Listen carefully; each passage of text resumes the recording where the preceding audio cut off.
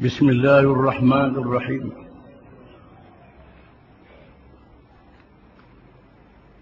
mereka mencabut roh manusia Allah Subhanahu wa taala mengkhususkan kepada setengah malaikat bertugas mencabut roh apabila tiba ajalnya. Di antara malaikat itu ialah mereka yang ditugaskan oleh Allah Subhanahu wa taala menjalankan kerja yang khusus iaitulah mengambil nyawa ataupun roh manusia apabila tiba ajalnya masa matinya yang ditetapkan oleh Allah Subhanahu wa taala. Firman Allah taala qul yatawaffakum malakul maut alladhi wukkila bikum thumma ila rabbikum turja'un. Surah as-sajdah ayat 11 Artinya katakanlah malakul maut yang ditugaskan mencabutkan nyawamu mencabutkan nyawa kamu akan mematikan kamu. Kemudian hanya kepada kamu hanya kepada Tuhan kamu kamu akan dikembalikan ayat ini menyatakan adanya malaikat-malaikat yang ditugaskan oleh Allah untuk mencabut nyawa manusia. Kemudian nyawa itu dikembalikan kepada Allah Subhanahu wa taala Tuhan yang menjadikan manusia menjadikan seluruh alam dan memiliki seluruh alam ini dikembalikan sebelum dibangkitkan semula setelah berlakunya hari kiamat. Untuk dikira dihisap dan dibicarakan imannya amalannya dan perangainya dalam masa hidup di dunia ini. Firman Allah Ta'ala وهو القاهر فوق عباده ويرسل عليكم حفظه حتى إذا جاء أحدكم الموت توفته رسلنا وهم لا يفرطون. ثم ردوا إلى الله مولاهم الحق ألا له الحكم وهو أسرع الحاسبين. سورة الأنعام ayat 61 hingga 62 artinya dan dialah yakni Allah dialah Tuhan yang mempunyai kekuasaan tertinggi di atas semua hamba-hambanya. Dan diutuskan kepada kamu malaikat-malaikat penjaga sehingga apabila datang kematian kepada salah seorang daripada kamu ia akan diwafatkan oleh malaikat-malaikat kami. Dan malaikat-malaikat kami itu tidaklah melalaikan kewajipan mereka. Ayat ini menyatakan Allah Subhanahu wa taala menguasai makhluknya Allah yang maha berkuasa. Yang tertinggi tidak ada yang mengatasi Allah Ta'ala. Sama ada raja, presiden, pemimpin siapa saja yang menguasai kerajaan yang paling besar di dunia ini duduk di bawah perintah Allah Ta'ala. Mereka adalah hamba-hamba Allah. Termasuklah Nabi-Nabi dan Rasul-Rasul alaihi mussalatu wassalam. termasuklah malaikat-malaikat, jin, binatang, pohon kayu, langit, bumi, bulan, bintang, matahari, bulan, segala-galanya di bawah kekuasaan Allah Subhanahu wa taala. Dan Allah taala mempunyai malaikat-malaikat yang ditugaskan untuk menjaga hamba-hambanya. Menjaga amalannya, menjaga rezekinya, termasuk yang menjaga ajalnya. Apabila tiba kematian, malaikat yang ditugaskan untuk mencabut nyawa, menamatkan ajal manusia, tidak lalai sedikit pun. Ayat tersebut menunjukkan bahawa malaikat-malaikat yang ditugaskan untuk mencabut ruh itu banyak. Bukannya satu malaikat saja. Banyak malaikatnya. Ketua mereka Israel. Israel. Ketua malaikat-malaikat yang menjaga urusan kematian manusia. Jumlah mereka ramai. Mereka mencabut nyawa orang-orang kafir dan berdosa dengan cara yang dahsyat. Perkara ini dinyatakan oleh firman Allah Taala. Walau tara idh zalimun fi ghamaratil maut wal malaikatu basitu aydihim akhrijuu anfusakum al-yawm tujzauna 'adzabal hun بما كنتم تقولون على الله غير الحق وكنتم عن آياته تستكبرون سورة الأنعام ayat 93 artinya alangkah dahsyatnya sekiranya kamu melihat orang-orang yang zalim itu berada di dalam tekanan-tekanan sakratul maut iaitulah kesakitan mati sedang para malaikat memukul dengan tangannya sambil berkata, keluarlah nyawa kamu. Pada hari ini kamu dibalas dengan seksaan yang menghinakan kerana kamu selalu mengatakan terhadap Allah dengan perkara yang tidak sebenar dan kamu selalu menyombong terhadap ayat-ayat Allah.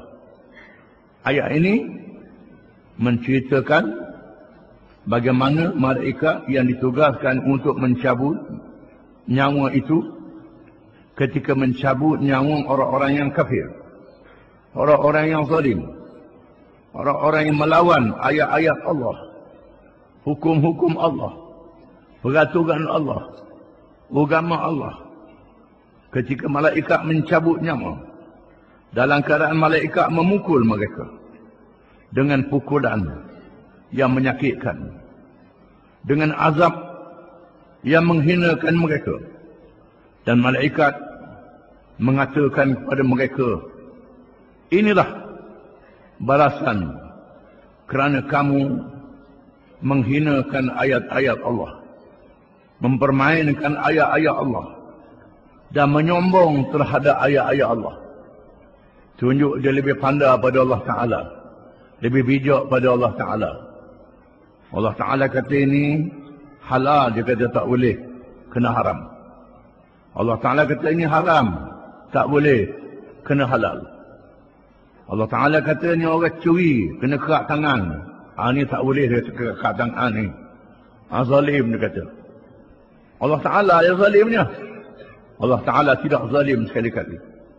Orang curi tak zalim. Perampok tak zalim. Kerak tangan jadi zalim pula. Jadi terbalik. Kesian kepada orang-orang yang buat jahat. Orang yang zalim. Orang yang buat kerja maksiat. Kesian kepada mereka yang jahat.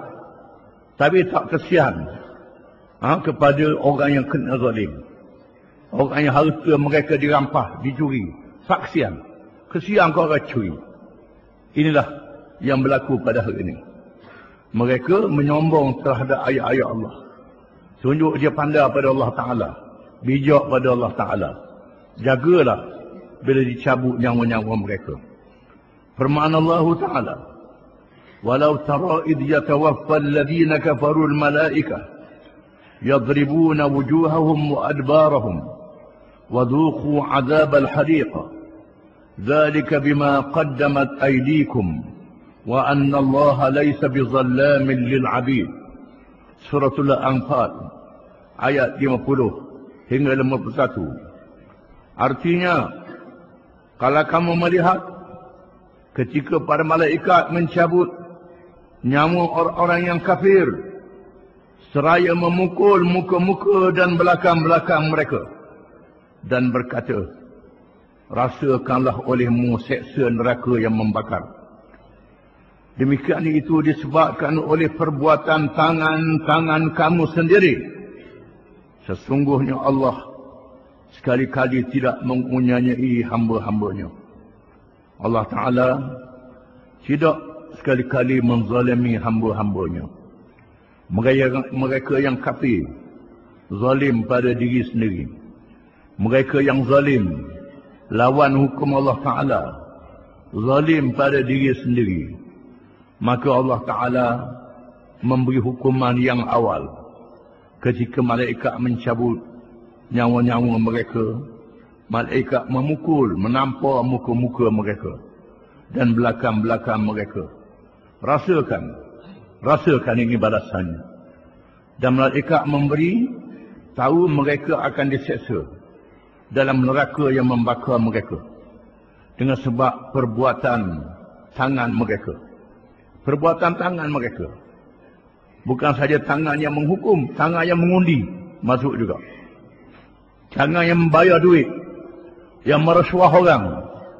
Ha? Tangan yang menyokong, yang bersetuju, perkara yang bercanggah dengan hukum Allah Ta'ala. Yang memilih pemimpin-pemimpin. Yang lawan hukum Allah Ta'ala. Ini tangan-tangan. Ini dengan sebab perbuatan tangan kamu tangan kamu. Mudah je tangan ni. Dengan sebab tangan-tangan kamu bersetuju, menyokong mereka yang tak setuju dengan hukum Allah Ta'ala dengan peraturan Allah Ta'ala mengambil duit, mengambil pitih mengambil kesenangan tolak hukum Allah Ta'ala. Tak percaya Allah Ta'ala yang beri rezeki. Duduk berasa orang yang beri rezeki. Ha, jagalah bila mati. Kalau tak bertawabat. Firman Allah Ta'ala. فَكَيْفَ إِذَا تَوَفَّتْهُمُ الْمَلَائِكَةُ يَضْرِبُونَ وُجُوهَهُمْ وَأَدْبَارَهُمْ ذَلِكَ بِأَنَّهُمُ اتَّبَعُوا مَا أَسْقَطَ اللَّهُ وَكَرِهُوا رِضْوَانَهُ فَأَحْبَطَ أَعْمَالَهُمْ Surah Muhammad ayat 27 hingga 28. Bagaimanakah keadaan mereka apabila malakul maut malaikat yang menjaga urusan mati mencabut nyawa mereka seraya memukul muka mereka disebut sekali lagi dalam ayat ini memukul muka-muka mereka dan punggung-punggung mereka yang demikian adalah kerana sesungguhnya mereka mengikuti apa yang menimbulkan kemerkaan Allah. Kerana mereka ikut. Ikut. Oh tadi tangan. Tangan. Pergi sokong, pergi buat, pergi undi, akak tangan. Setuju lawan Allah Ta'ala. Ini pula ikut. Pergi ikut orang yang lawan Allah Ta'ala. Lawan hukum Allah Ta'ala. Lawan ajaran Allah yang dibawa oleh Nabi dan ulama-ulama yang membawa ajaran Nabi. Dan kerana mereka membenci apa yang menimbulkan keradaannya. Sebab itu Allah menghapuskan pahala amalan-amalan mereka. Oleh kerana mereka benci kepada hukum Allah. Benci kepada orang-orang yang menegakkan hukum Allah. Maka derma mereka, semayang mereka, haji mereka, umrah mereka ditolak oleh Allah Ta'ala dihapuskan oleh Allah Ta'ala. Kerana mereka membatalkan Islam mereka. Membatalkan dua kalimah syahadah mereka. Dengan menolak mana-mana hukum dan peraturan Allah. Mana-mana ajaran Allah ditolaknya, maka segala amal kebajikan mereka tidak ada pahala. Dihapuskan pahalanya oleh Allah Ta'ala.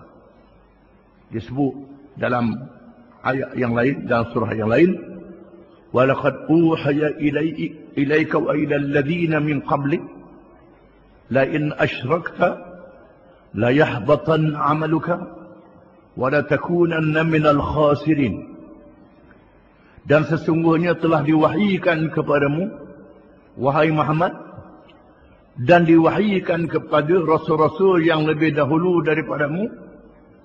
Sekiranya kamu syirik menyekutukan Allah dengan sesuatu yang lain maka terhapuslah amalan-amalan kamu. Walaupun mu sendiri wahai Muhammad mu sendiri apalagi umatmu orang lain mu sendiri sekalipun wahai Muhammad kalau mu syirik menyekutukan Allah dengan sesuatu terhapus amalan kamu begitu juga rasul-rasul yang dahulu terhapus amalan kamu dan di akhirat kamu termasuk di kalangan orang-orang yang rugi. Firman Allah menjelaskan lagi. Am lahum syuraka syara'u lahum min ad-din ma lam ya'dam bihi Allah. Adakah mereka itu mempunyai sekutu-sekutu yang lain daripada Allah yang boleh mengadakan undang-undang mengadakan peraturan dalam perkara yang tidak diizin oleh Allah Ta'ala. Di sana ada peraturan yang Allah Ta'ala sudah buat. Dia buat peraturan lain. Peraturan yang Allah Ta'ala tak buat, dia buat. Tak jadi salah. Una-una jalan raya. Nak jalan kok kiri, kok kanan, ikut negeri masing-masing. Ada ikut una-una jalan raya British, belok kiri. Ha, steering belah kanan. Untuk jalan raya mereka, steering belah kiri. Kita berjalan belah kanan. Tak jadi salah.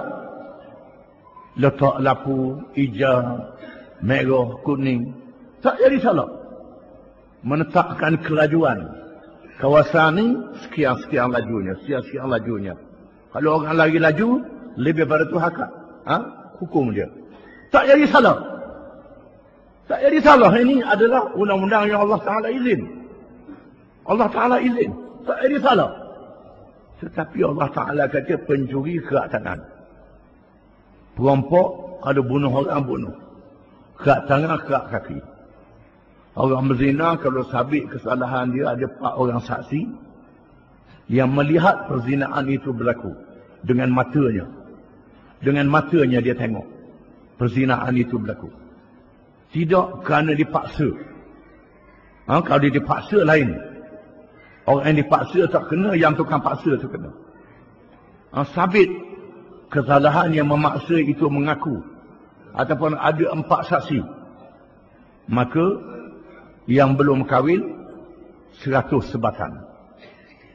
Yang sudah kahwin direjam sehingga mati. Yang minum arak, Nabi sudah hajar ha, iaitu 80. Nabi ajar 40 sebatan. Zaman Sayyidina Umar, Sayyidina Ali kata tambah lagi 40. Kerana mereka yang minum ini cakap pelawak, mabuk. Orang pelawak macam orang qazaf. Tambah 40, biar jadi 80 sama dengan hukuman qadar. Ini adalah hukum-hukum yang ditetapkan. Nabi bersabda, Alaikum bisunnati wa sunnatil khulafair rashidin al mahdiyina min ba'di.